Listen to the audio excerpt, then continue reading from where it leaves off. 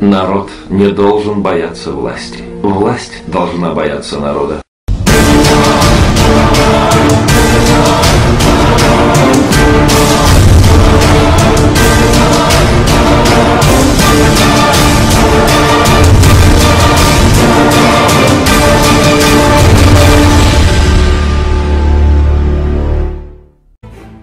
To understand the rearray solution, you first need to know about DDoS attacks. But to understand DDoS attacks, we need to explain a thing or two about botnets. So let's start at the beginning. This is an example of regular communication between a browser and a web server. A user enters the web address. The browser sends a request to the web server. The web server looks up the requested web page and returns the data to the browser.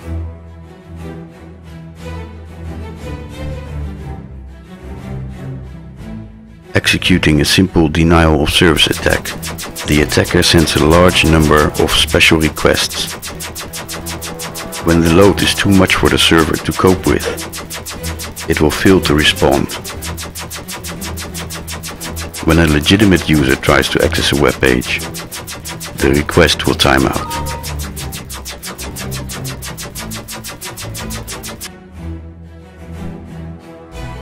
In a DOS attack, the malicious packets are sent from a single device. But in a DDoS attack, the target is hit from several devices simultaneously. Launching the attack from multiple devices offers several advantages. More devices means more available bandwidth to flood the target. It's harder for the victim to find and block all involved source IP addresses.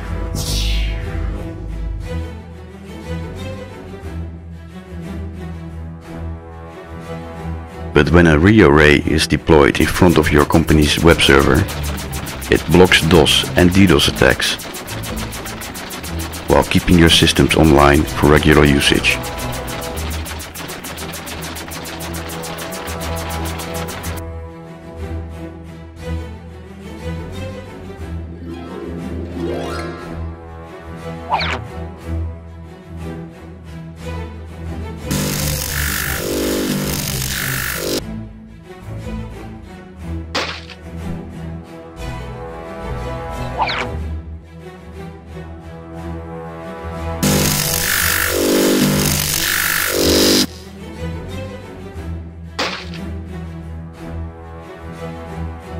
When a large swarm of computers acts under the control of a single attacker, it's called a botnet.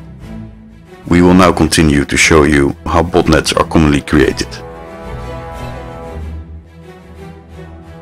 The attacker acquires a virus, comes up with a cool name, and combines the two into a so-called Trojan horse.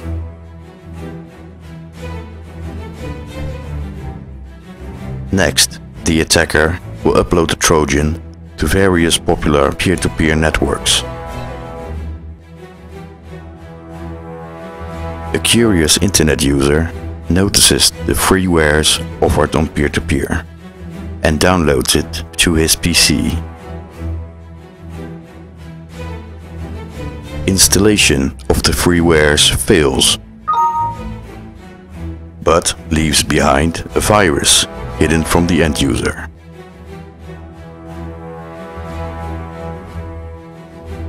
When your PC gets infected, the virus will first phone home.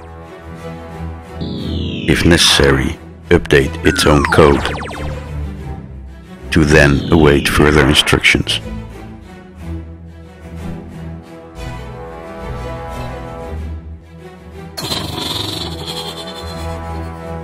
Let me introduce to you the attacker.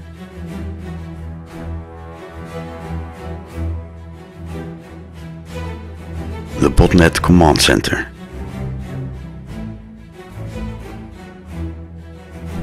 Your e-commerce server.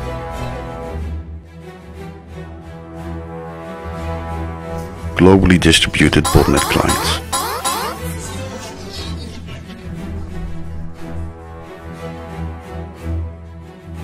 Command from attacker to all botnet clients. DDoS attack your server today at 2300 hours. Notice how the attacker avoids direct contact with any client. All clients pull their jobs from an IRC server. Once the attack has been scheduled, it's only a matter of time before all hell breaks loose.